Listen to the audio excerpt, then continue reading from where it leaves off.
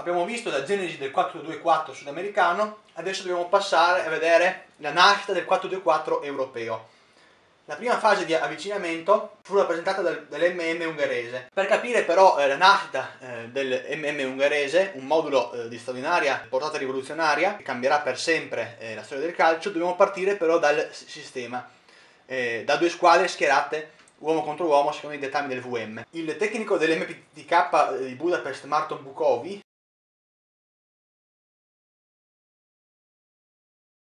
poi il CT della, della Grande Ungheria, eh, della Arani Shapat, eh, Gustav Sebes,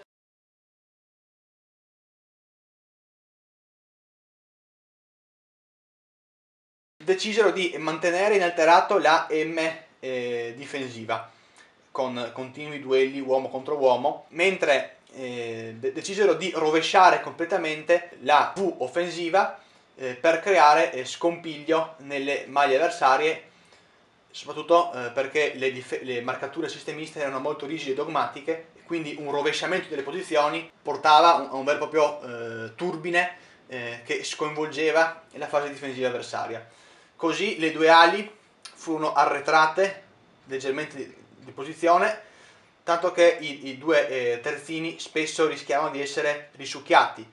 Il centravanti, la terminale eh, offensivo, fu arretrato verso centrocampo, così da liberare un altro eh, spazio secondo l'attacco, mentre i due interni eh, divennero eh, i, te, i, terminali eh, offensivi e si trascinavano dietro i due mediani. L'8 era, era il centravanti, il 10 era una, era una sorta di seconda punta. In questo modo nacque così l'M M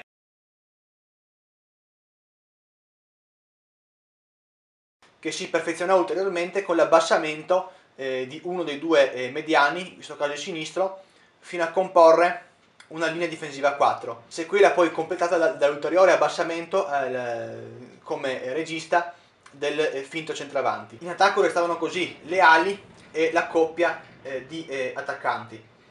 Eh, la difesa così tornò ad essere in linea a zona con i due eh, terzini eh, Busanski e Lantos ad esempio nella Grande Ungheria che spingevano sulle fasce come ali le ali che eh, in fase di non possesso retrocedevano mentre i centrocampisti e, e, i, difensori, i centrocampisti e il, i difensori dovevano portare il pressing eh, sulla, eh, sulla, squadra avversaria in modo da innescare subito eh, gli attacchi che erano condotti dal centravanti di eh, manovra Hideguti ed era, ed era finalizzato eh, dal, da, dalle due eh, finte mezze punte Puskas e, e Kochis.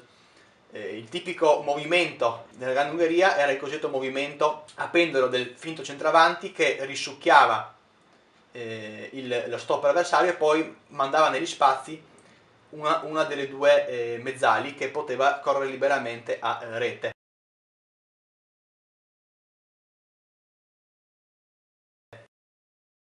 Come abbiamo visto il 4-2-4 eh, sudamericano mm, si era formato come emendamento del eh, diagonale.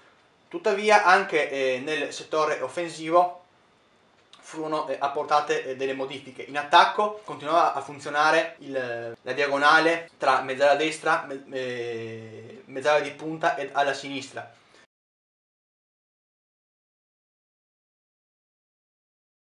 Con il centravanti che doveva liberarsi dello stopper per favorire col gioco di sponda l'inserimento della mezzala di punta.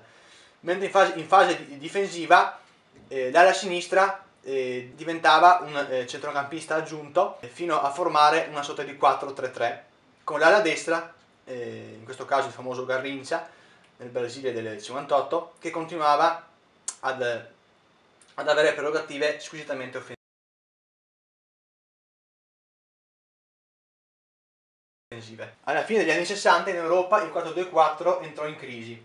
Il gioco sempre più fisico e i ritmi sempre più frenetici del calcio europeo obbligarono infatti certe squadre a infoltire il centrocampo eh, utilizzando ali e centrocampisti con compiti sempre più difensivi. Nacquero così il 4-3-3 ed il 4-4-2, cosa che vedremo nei prossimi video.